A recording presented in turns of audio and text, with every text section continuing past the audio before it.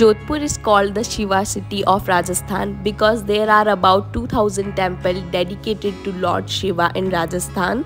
That is why Jodhpur is called the Shiva city. But among all these, the Siddhnath Mahadev temple of Bholenath has its own image. This temple of Lord Siddhnath Mahadev situated in the hills of Takht Sagar is the main center of faith of the local residents Every year, lakhs of tourists come here to have darshan of Lord Bholenath. The main attraction of this temple is the 12 Jyotirlings on which Sheshnag are made of brass and the shivlings hanging in the small caves here. The naturally formed shivlings amaze the tourists coming here is guys welcome back to my new blog तो मैं आई हूँ राजस्थान की Jodhpur city में। तो आज मेरा पहला दिन है तो मैं आज एक्सप्लोर करने आई हूँ जोधपुर की एक ऑफ़ बीट लोकेशन को। यहाँ पर बना हुआ है सिद्धनाथ महादेव का टेंपल तो आइए महादेव जी के दर्शन करते हैं और आपको भी करवाते हैं। सो so गाइज़ आज मैं आई हूँ अपने हस्बैंड के साथ इस मंदिर में आने के लिए। अगर आप कायलाना लेक जा रहे हो तो उसी के पास ये टेंपल पड़ेगा। इस टेंपल की रेलवे स्टेशन से डिस्टेंस 9.6 किलोमीटर है एंड बस स्टेशन से इसका डिस्टेंस 11.2 किलोमीटर है। जितना खूबसूरत ये मंदिर है, उतना ही खूबसूरत इस मंदिर तक जाने का रास्ता है। When I lived in Jodhpur I use to come here once every month Siddhanath Mahadev temple is known for its divine spring atmosphere. माना जाता है कि ये शहर में भगवान शिव का सबसे ऊंचाई का मंदिर है। इस टेंपल की एग्जैक्ट लोकेशन चौपासनी रोड पर फ़िल्टर हाउस से पहले नेपाली बाबा मार्ग से मंदिर की ओर रास्ता जाता है। यहाँ से आपको पैदल या फिर खुद के व्हीकल से ही दो किलोमीटर तक का सफ़र तय करना पड़ेगा, क्योंकि यहाँ तक कोई भी सिटी बस और टैक्सी नहीं आती।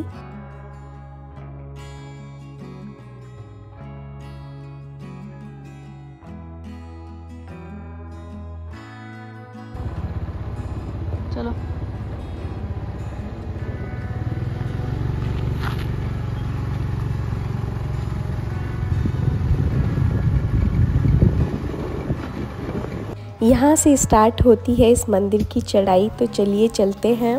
बताया जाता है कि ये मंदिर कई वर्ष पुराना है। यहाँ प्राकृतिक रूप से पास पास बने दो शिवलिंग के बारे में कहा जाता है कि यहाँ शिव व पार्वती दोनों जोड़े के रूप में विराजते हैं। कुछ स्टेज चढ़ने के बाद मुझे दिखाई दिया ये व्यू जो कि बहुत ही ज़्यादा सुंदर था। यहाँ पर लेफ़्ट साइड में कायलाना झील थी। सो so गाइस ये स्टार्टिंग की पेड़ियाँ हैं जो हमें चढ़ के जाना है। इस मंदिर को दादा दरबार के नाम से भी जाना जाता है। मंदिर पहाड़ी पर होने के कारण ऊपर चढ़ने के लिए आपको कम से कम 355 सीढ़ियाँ क्रॉस करनी पड़ेगी। ये जगह मुझे बहुत ज़्यादा अच्छी लगती है बिकॉज़ यहाँ का एटमॉस्फेयर मुझे एकदम नेचुरल वाइब देता है। अब हमने अभी तक फ़र्स्ट सीढ़ियों को क्रॉस किया है। अभी तक आपको सामने दिख रहा होगा वो मंदिर है।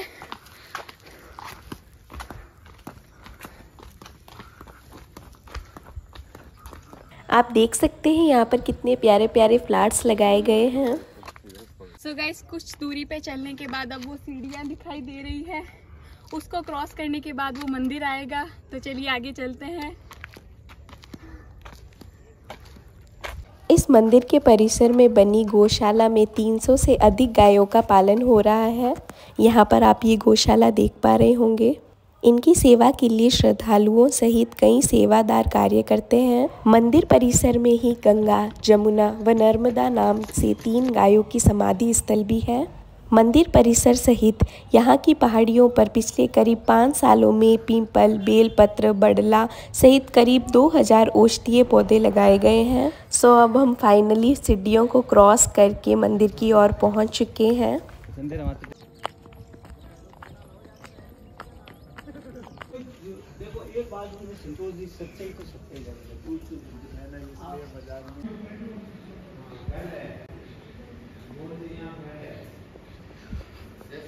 अब हम मेन महादेव जी के मंदिर में चल रहे हैं तो आइए चलते हैं।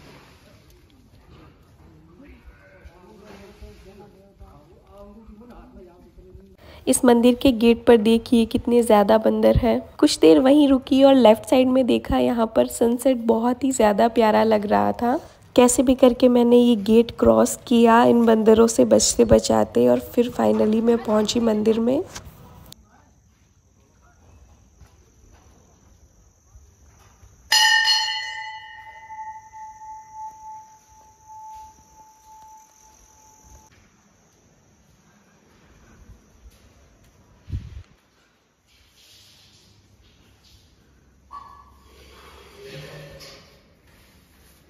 जैसा कि मैंने आपको बताया, यहाँ पर प्राकृतिक रूप से दो शिवलिंग बने हुए हैं, जिन्हें शिव पार्वती का जोड़ा माना जाता है, उन पे हमने जल अर्पित किया।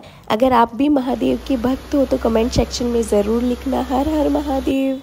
हनुमान जी के भी दर्शन कर लिए हैं तो ज़ोर से बोलो, जय श्री राम।